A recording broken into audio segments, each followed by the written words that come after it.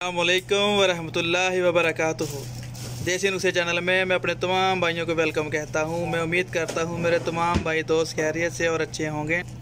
मैं आज अपने प्यारों भाइयों के लिए बहुत ही आसान और घरेलू सा नुस्खा लेके आया हूँ।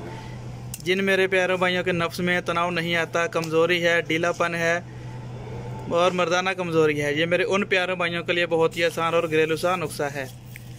नुस्खे की जानब बढ़ने से पहले मेरे तमाम नए आने वाले दोस्तों से गुजारिश है। देसी नुस्खे चैनल को सब्सक्राइब कीजिए, लाइक कीजिए और दोस्तों के साथ शेयर कीजिए और बेल आइकन बटन को दबाना मत भूलिएगा ताकि मेरे नए आने वाले वीडियो अब तक जल्दी से जल्दी पहुँच जाए।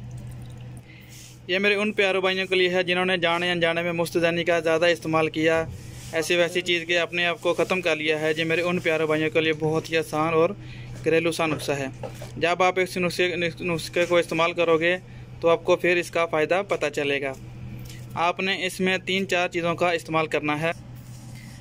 आपने इसमें तीन चार चीज़ों का इस्तेमाल करना है। नंबर एक, ज़ाफ़रन, तिल का ऑयल, दालचीनी, लौंग और लहसुन। आपने ये सब चीज़ों को ऐसे ही मिक्स कर लेना है, जैसे हमने इन चीज़ों को मिक्स किया है। और इसमें जैतून के तेल का भी इजाफ़ा करना है। क्या करना है? 100 ग्राम ज़ाफ़रन। ज़ाफ़रान पाँच ग्राम आपने लेना है सक और दस इसमें लौंग इस्तेमाल करने हैं और आधा लीटर जैतून का ऑयल और सौ ग्राम आपने इसमें तिल का तेल का इस्तेमाल करना है।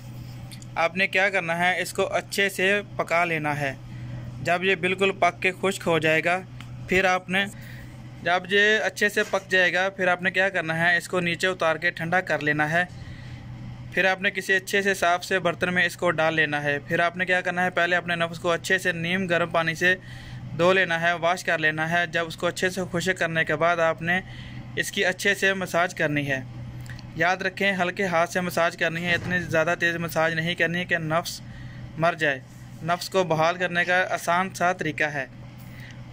इसको आपने मुसलसल इस्तेमाल करना है। दिन में दो से तीन बार अगर इस्तेमाल कर करोगे तो आपको इसका ज़्यादा फ़ायदा होगा। मैं उम्मीद करता हूँ मेरे तमाम भाइयों को नुस्खे की समझ आ गई होगी। मैं एक मरतबा फिर बता देता हूँ। तिल का ऑयल ज़ाफ़रान सक, लौंग और लहसुन और जैतून का ऑयल ये आपने सब चीज़ों को एक साथ मिक्स कर लेना है अच्छे से। जैसे जो हमारे सामने मिक्स किया हुआ बर्तन में पड़ा है, आपने ऐसे ही इसको करना है। जब आप इसको इस्तेमाल करोगे तो आपको बहुत ही फ़ायदा होगा। तनाव में इजाफा होगा डीलापन ख़त्म हो जाएगा और मर्दाना टैमक में भी इजाफा होगा। मैं उम्मीद करता हूँ मेरे तमाम भाइयों को नुस्खे की समझ आ गई होगी।